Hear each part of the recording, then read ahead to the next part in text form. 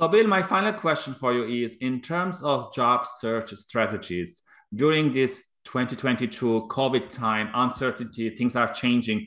What can job seekers do? How can they be prepared for the jobs that's going to apply in the future?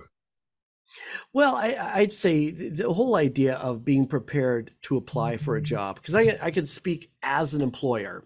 Mm. I'm not an employee expert, but I can tell you from my end where the hits and misses are. Mm-hmm. And one of the biggest misses are that people think I'm going to apply for a lot of jobs, and to be efficient, I'm going to send the same resume and the same cover letter to everybody. No, and and that is probably one of the greatest failures you can have because, for example, companies like me, one of the questions I'm going to ask you is, "What do you know about my agency? Yeah. Why do you want to work here?" Yeah. Because for those of us that are really trying to make a dent in the universe with our work and our business, um, I'm looking for people who have a shared mission, shared values, shared passion for the things that we're doing. I don't want people that just want a job because as soon as I find somebody just wants a job, chances are if something comes up better or things get tough or whatever, they're going to move. Yeah.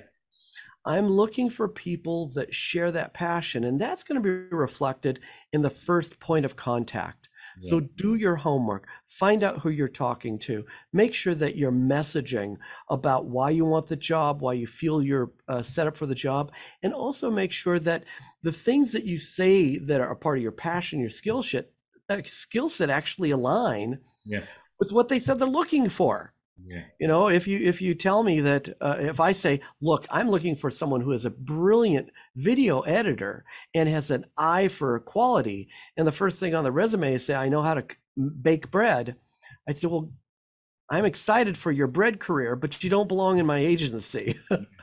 so do the match, yeah. make it match, and make it customized yeah. because when it when you do and if you do move to that next step and actually work remember you don't just work for businesses you're going to be working with people and for mm-hmm. people mm-hmm.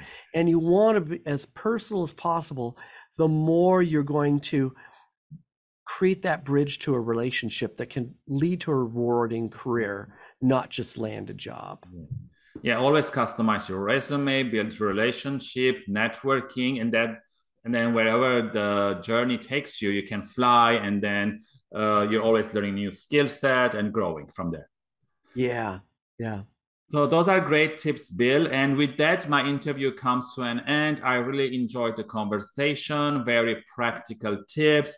And I'll leave the link of your book so that people can buy it and read it and, and implement it in their next job search. So, so again, thank you very much.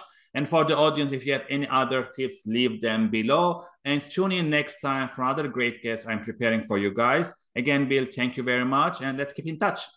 Bye, everyone. Take care.